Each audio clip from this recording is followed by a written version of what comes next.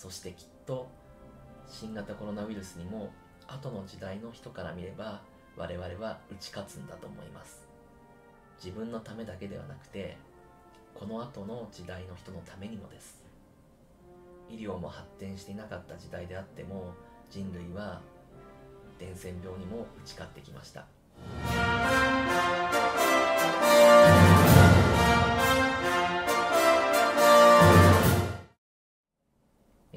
にちは作曲家のエリサです。昨日は新しい吹奏楽が完成したっていうことを SNS で報告しましたが本日はその内容を詳しくお話しさせていただきたいと思います。今回は久しぶりに大編成の吹奏楽曲のご依頼をいただきました。ご依頼をいただいた団体は私の代表作となる空中都市マチュピチュ隠された太陽神殿の謎と同じ川口市アンサンブル・リベルテ吹奏楽団です。再びリベルテに新作を演奏していただけることはとても嬉しいです。なぜならば以前の動画でもお話していますが私はマチュピチュを作曲したことがきっかけでアメリカ全土で作品が演奏されるようになりましたし憧れであった音楽の本場であるヨーロッパで活動するきっかけにもつながったからです。当時まだ20代であった若手の私に移植作品としてマチュピチュを作曲する貴重な機会をくださったのは団長の越川博さんです。指揮をしてくださったのは福本慎太郎先生。そしてリベルテの皆さんは本当に情熱的な演奏をしてくださいました。あの時は本当に感動したことを今でも覚えています。本当に心より感謝しています。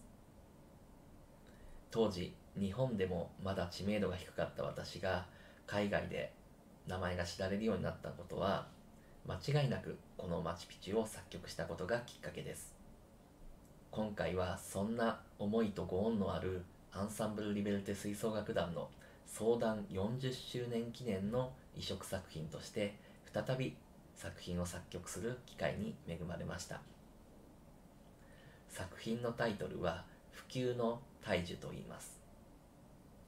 今年はこれまでの人生の中で今までとは全く違った1年になりました。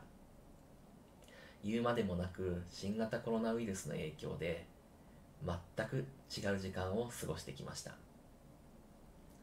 普通に吹奏楽をしたり仲間たちに会ったり食事をしたりすることもできなくなってしまって特に春から夏まではいろんなことを考える毎日でした。これは日本だけではなくて世界全体の問題で逃げる場所もなくただただこんな状況と向かい合うという時間でした。コロナに対する複雑な思いは私だけではなくて全ての人々がそれぞれにいろいろ感じていると思いますのであえてこれ以上は触れません。またコロナに打ち勝つための音楽を作ろうなんて大それた考えは私にはありません。東日本大震災の復興支援局ともなった明日という日がの状況とも今回は明らかに違うと思います。また一方で今年の夏私がデビューして以来ずっと共に仕事をしてきた友人でもあり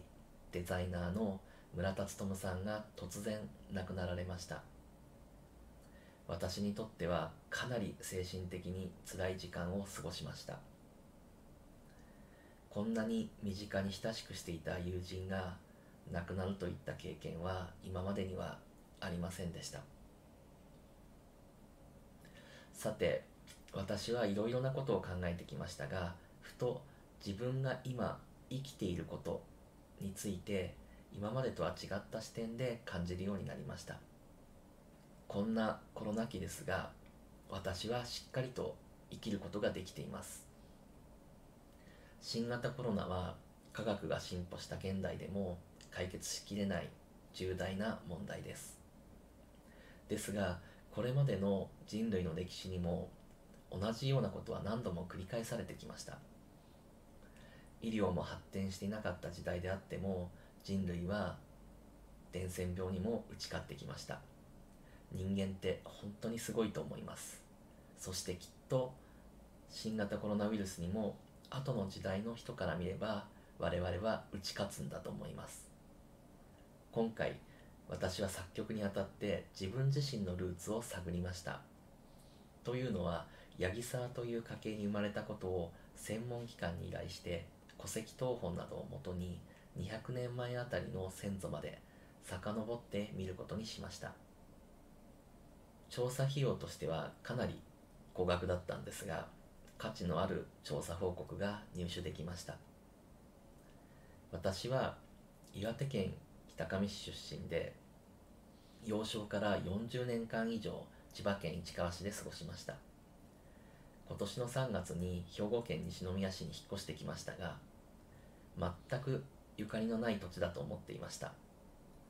しかし遠い先祖が今私が住んでいる家の近くで住んでいたことも分かりました。これはとても不思議な感覚になりました。調査作成していただいた家系図を見ていると本当に不思議な気持ちになってなんだか自分が生きていることに感動しました。これまで両親がいたからこそ自分が存在する。という感謝の気持ちはもちろん持って生きてきました。両親にも親がいますしそんなことは当然のように思っていました。ですが4代前5代前と遡っていくと全く意識していなかった先祖の存在が見えてきました。家系図に載っているこの人がもしいなかったら私は生まれていなかった。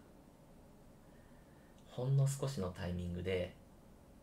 結婚していなかったり出会っていなかったり。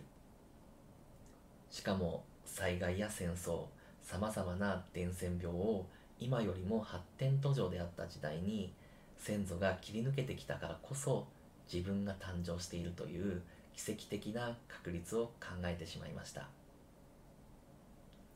もちろんこれは私だけではなくて今生きている誰にでも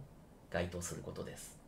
それぞれの時代で生き抜いた先祖がいたからこそ今自分は生きているしそして我々が生き抜くことで次の時代につながっていくだから新型コロナにしてもその他のさまざまな大きな問題に直面したとしても我々は生き抜く必要があるんだと思ったんです自分のためだけではなくてこの後の時代の人のためにもですそんな思いを込めて「アンエンディングファミリーツリー終わらない家系図」としてタイトルを「普及の大樹」と名付けました。不滅なる大きな木に今の時代を乗り切る思いを重ねてみました。ぜひ多くの皆様にお聞きいただけましたら幸いです。世界初演は12月27日の日曜日と伺っています。川口市アンサンブル・リベルテ吹奏楽団の皆様がどんな演奏をしていただけるのかとても楽しみです本日は新作完成のご報告をさせていただきました最後までご覧いただきましてありがとうございました。